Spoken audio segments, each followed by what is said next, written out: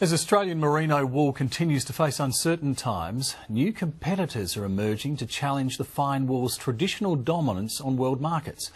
Bales of West Australian alpaca wool are now selling for a premium, and growers say the fleece is becoming increasingly marketable both at home and abroad. But sheep farmers are still dismissing it as a fad and say the newcomer is still a long, long way from being able to meet the demand for fine wools. Stephanie Dalzell has the story. Anything you can do, I can do better. I can do anything better than you. Oh, you can. Yes, I can. And of course, she's just a beautiful looking animal. Good girl. We call this one pizzazz.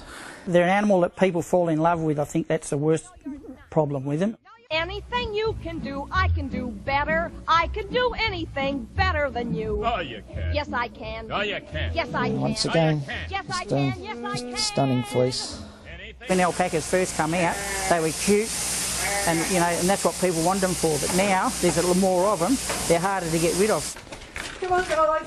Come on. Come on. Have some food. When Greg and Judy Smith saw an alpaca for the first time, they were instantly captivated by the strange foreigner. Good girl. Uh, that's it. And we paid a stupid amount of money What was that stupid amount of money?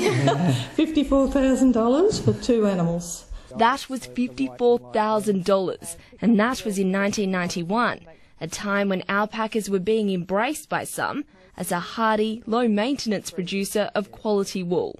The spinners were ringing us saying, you know, we would like to buy your fleece, and you know, we would buy sell the, the saddle area for crazy amounts of money. In the early days. The hype over alpacas coincided with a horror period in Australia's sheep industry.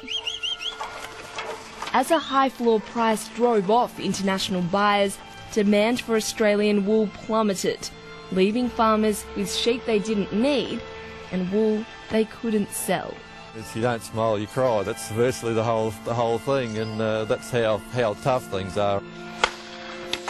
Farmers were forced to shoot sheep by the thousands. That's, that's a sore point, I think, in a lot of people, because we've done some terrible things in this industry, and that was, I think, one of them. Send the wrong signals out to people. Shouldn't have happened. Mountains of wool were stockpiled for years, and the national sheep flock was cut by 100 million over the next two decades. It was a disaster. As wool was fighting for its life internationally, farmers faced yet another potential threat at home in the form of a strange wool bearing animal from South America. More at home in the Andes than in Albany, alpacas were dismissed as a passing fad by Australian farmers. But with improved breeding techniques, alpaca wool has carved out a niche in Australia's natural fibre industry. But to wool industry veterans like Ron Niven, it'll never be anything more than a passing fad. what did you think when you saw your first alpaca?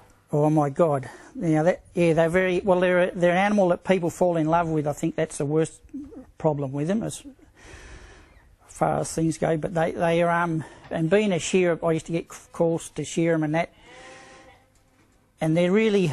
It's not really you can't associate it with wool because I don't think it's it's a vi, it's another fibre, and it's you can't do you know feel it and.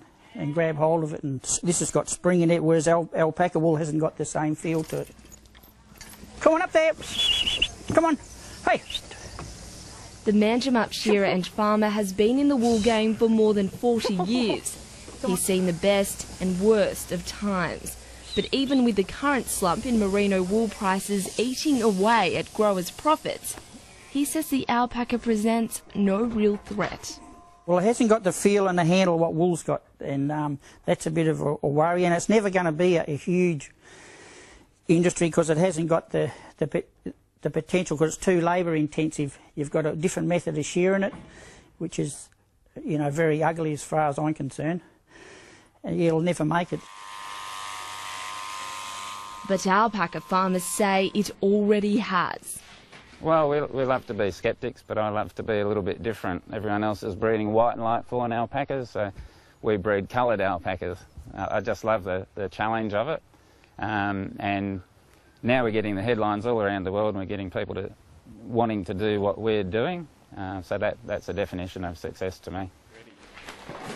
Daryl Sherman got into the industry more than 10 years ago and says alpaca farmers have learned quickly from the mistakes and successes of their merino counterparts. The animals that came in 20, 25 years ago were pretty ordinary. we wouldn't even look at them now. But I guess using this, the Australian capability, um, you know, we've got 200 years in merinos. The first merinos that landed were pretty scruffy looking things that didn't cut much fibre at all. Now look at what they're producing. So we've, we've had the benefit of using some of that technology and know-how to accelerate the way the, the fleece on the alpaca and the conformation has improved.